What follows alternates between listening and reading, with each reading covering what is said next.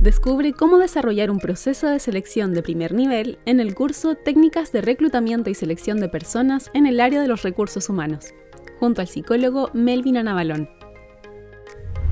Hoy día el mercado del trabajo, y particularmente el mercado de los recursos humanos, se ha eh, masificado, pero más bien se ha complejizado y se requiere cada vez perfiles mucho más precisos, mucho más técnicos y por lo tanto los procesos de reclutar y seleccionar personas también tienen que eh, mutar hacia procesos mucho más técnicos, más rigurosos, más precisos.